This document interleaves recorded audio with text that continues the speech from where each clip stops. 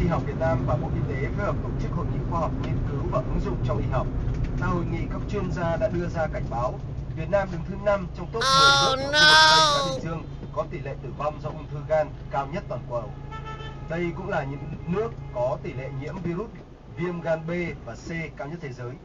Tại Việt Nam, theo thống kê hiện có hơn 7 triệu người đang nhiễm virus viêm gan B và có khoảng 1 triệu người đang nhiễm virus viêm gan C. Nguyên nhân được cho là do tình trạng nhưng mà anh đi bia, có- quay có tí quay có đoạn này như như tí kia anh đi, đi ngược chiều nhé Ngoài các bệnh truyền nhiễm, hội nghị khoa học còn tập trung vào bốn Những nhóm con đường, con lươn rất là ngắn. hô hấp, bệnh khớp, sản phụ khoa và ung thư. Đây đều là những thách thức không chỉ ở Việt Nam mà trên toàn cầu. Bởi các bệnh này đang gia tăng cả về số lượng ca Thì mắc. có làm gì anh đâu. nghiêm trọng, ảnh hưởng lớn tới sức khỏe cộng đồng.